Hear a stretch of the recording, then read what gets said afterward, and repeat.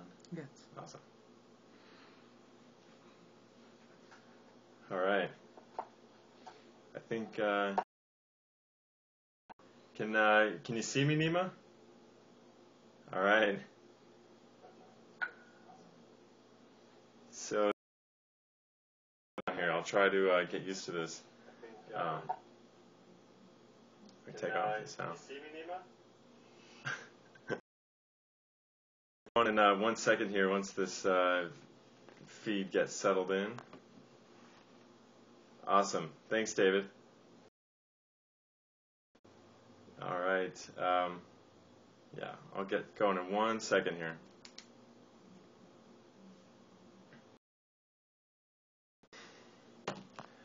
Okay, well, um, to everybody who's who's watching, I'm going to get going. I've got a short through it. It's uh, it's quite informationally dense, so hopefully afterward we can have some good discussion about it. So to start off, I graduated from UCLA in 2006 with a degree in political science. Uh, shortly after graduation, I, I then read For a New Liberty by Murray Rothbard, and then I read Human Action by Ludwig von Mises.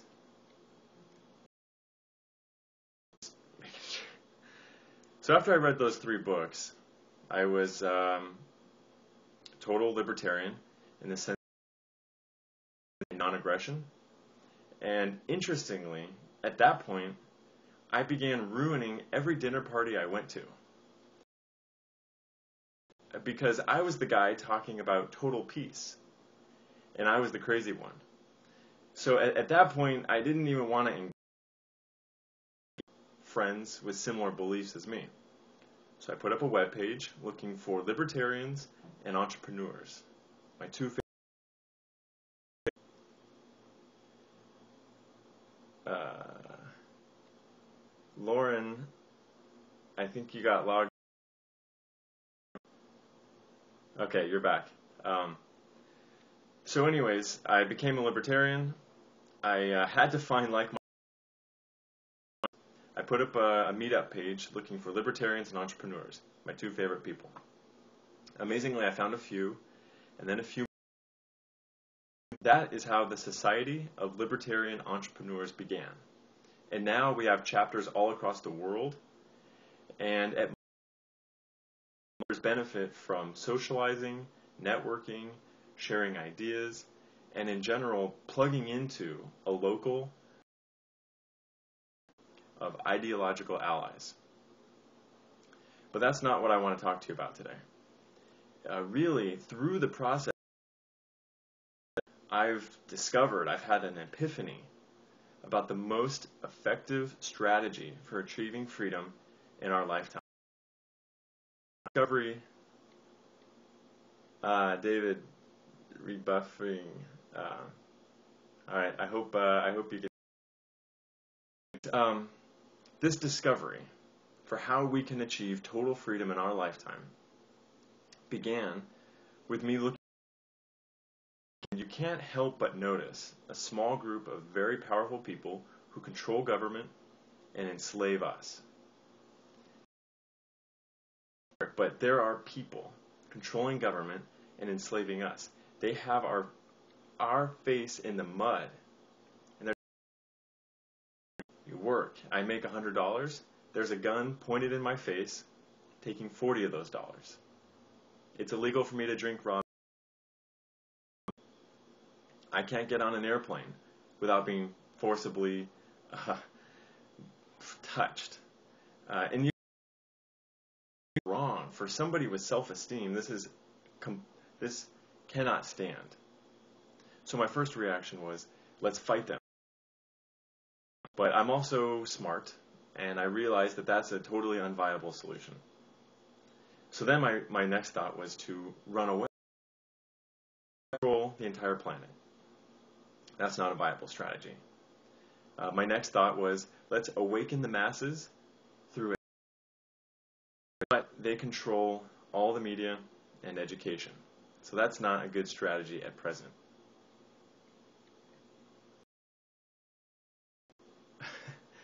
Uh, Dave, it's David. It's uh, it's you, me, Lauren, and Nima. So I'm glad to have you here. Keep chatting if if you have any questions. You want me to slow down, or or if uh, if you're not getting the uh, the feed. So we cannot fight them directly. We can't run away. We can't just awaken the masses.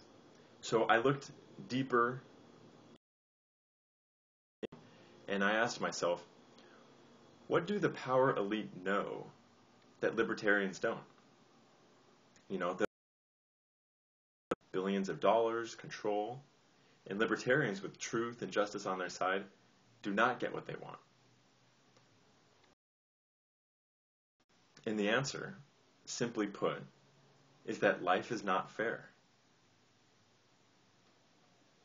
Robert, um, yeah, I think I think there is a, a bit of a lag on my side too.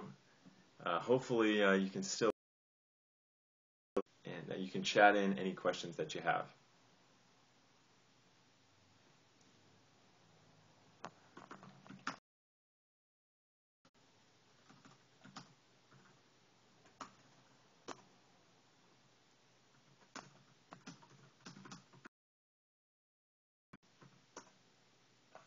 All right. Cool. So, um, the, the power elite get what they want began with the understanding that life is not fair. The power elite know this, that, that we actually live in a jungle where power is the only thing separating victims from those who can resist aggression. This, this was important. I mean, it's true. You think of a squirrel in the jungle or in the forest, and he only stays alive. It wouldn't be fair, but because he uses his skills to avoid predation, running or hiding or working at night.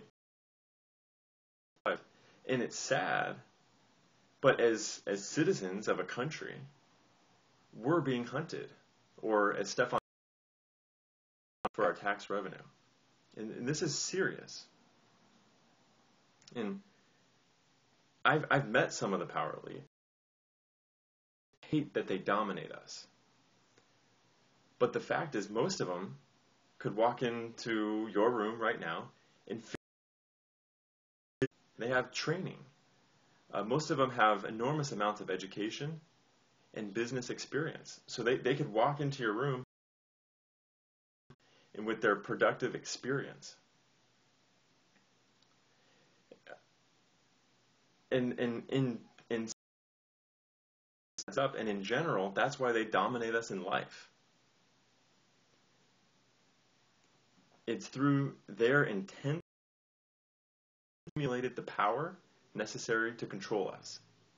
And by power, I mean in a modern context, one's ability to um, one's knowledge, one's experience, uh, one's money, and actual tangible assets.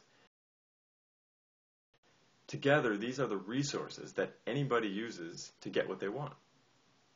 And self improvement is getting better categories by eating healthier, working out, taking classes, uh, getting experience, work experience, and building a so building a friend, uh, a network of friends. So the the takeaway so far from from fair, power is the only thing separating victims from those who can resist aggression, and that self improvement is how we. Therefore, the self improvement of libertarians, those who live by a code of non aggression, is the first freedom.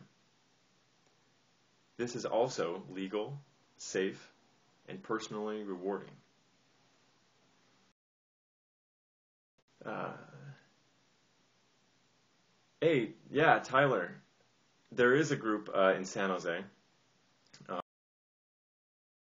.com. We are uh, sole.com, and yeah, there is a San Jose chapter. So uh, welcome. I'm in. I'm, um, So, like I was saying, self improvement of libertarians is the first and most important step toward freedom. From this perspective, we, we have to stop waiting for the revolution to occur. Freedom won't. Libertarians, we have the best ideas for how to organize society, but that's not enough. We have to rise up if we're going to secure freedom for ourselves. In this sense, every push up we do, every class we take, every dollar we save, forge is also a step toward freedom. I, I see myself as part of a new generation of gentlemen who will not submit. And I'm looking for heroes. I challenge anyone to bring the intensity of a warrior to their self improvement.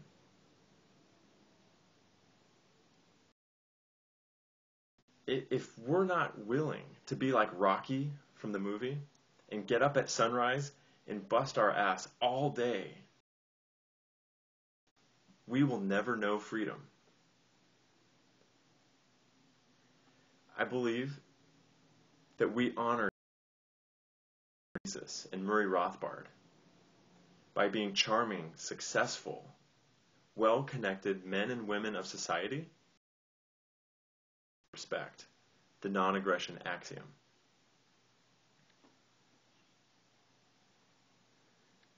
Hey, coming up uh, for San Jose Society of Libertarian Entrepreneurs.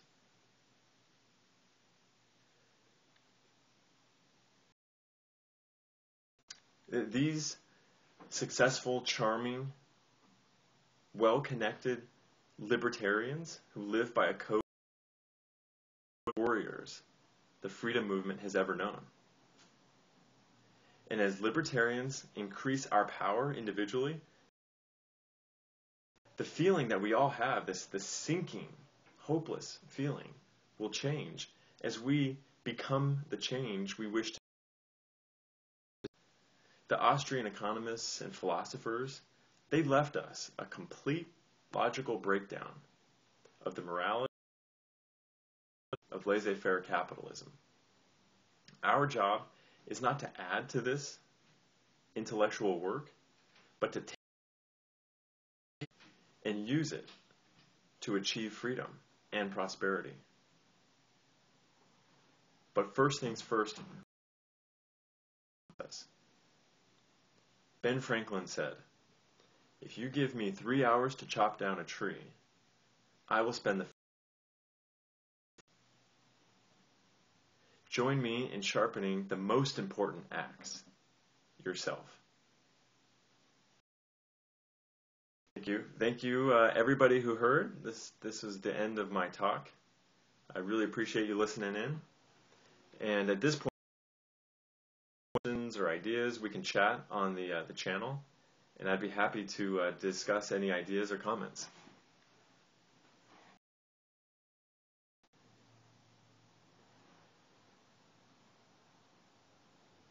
Uh, Tyler, I, I'd be curious to find out how you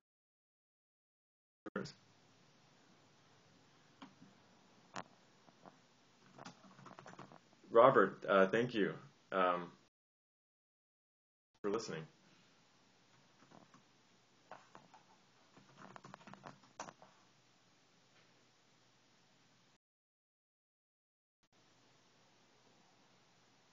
What kind of ventures have I heard of?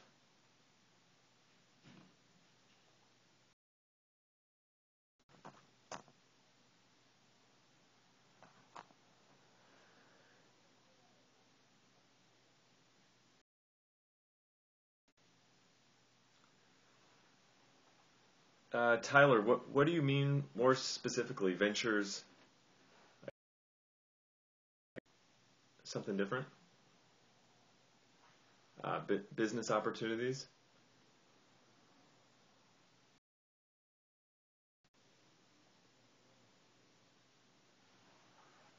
Well, in the Los Angeles group, we've got a large group of, of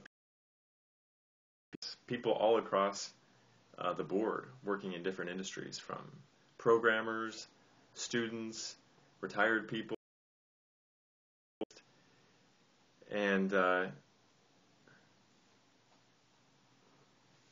okay. Um, so eh, I, for example, I'm working on uh, sustainable agricultural projects. I think that, uh, which seems like we will, agricultural land and commodities is a is a good place to be in in general, and I also believe that these um, food products without a dependence on foreign oil or pharmaceuticals um, or foreign fertilizers and also increase the margins so that sustainable agriculture is going to become more profitable over time. So I'm developing a grass-fed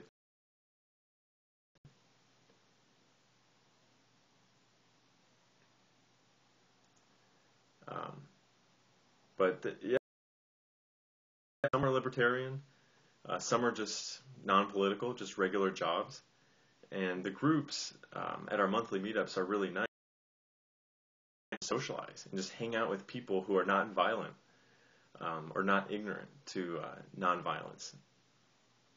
In some, it's just a real local kind of immediate thing, depending on people's uh, shared values and expertise. Oh, I'm sorry, Lauren. Uh, it's grass-fed beef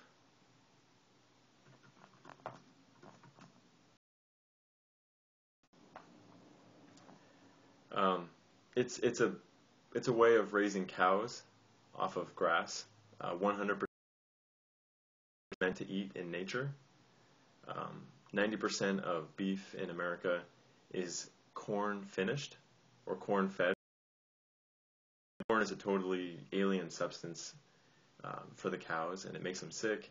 So then you have to give them antibiotics and it changes in the nutritional value as well.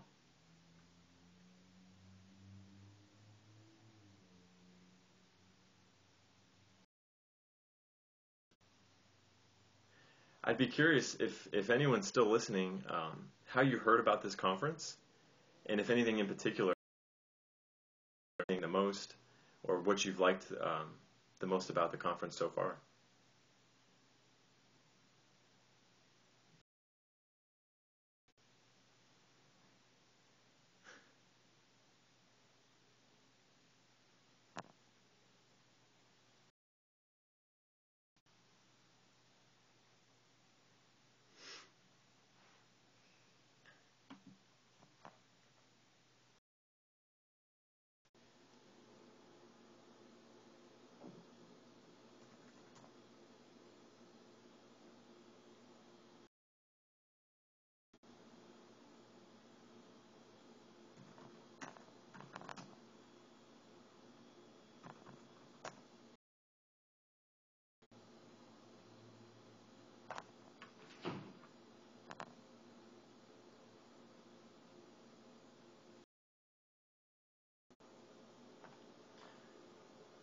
Great.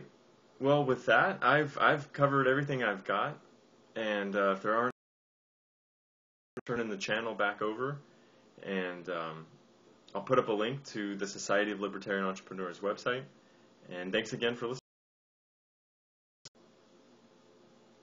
Uh, Jordan, do I think libertarians consider themselves victimized too much? I do. Um, when you read the libertarian literature, it's obvious that it's not fair for governments or kings or warlords to control people and to tax them. To feel like a victim, because we are. We absolutely are victims. If we're going to achieve freedom in an unfair world, it's only going to come from powerful people.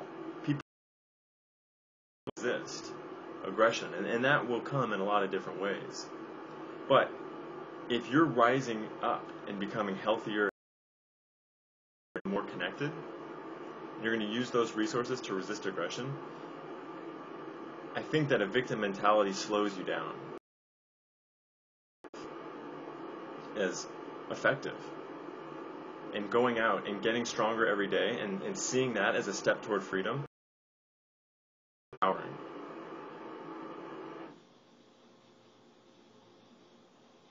Oh, man. Uh,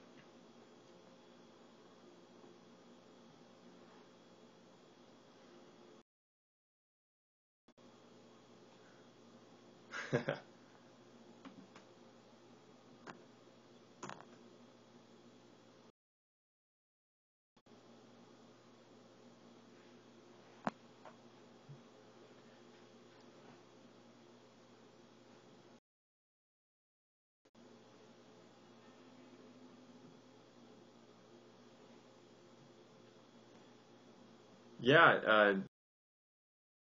question. Um, I think you you need a, an idea, which you can develop a business plan around. If you don't have an idea, hanging out with local libertarian entrepreneurs is a good way to have fun and help you develop ideas, which you can then refine through a business plan.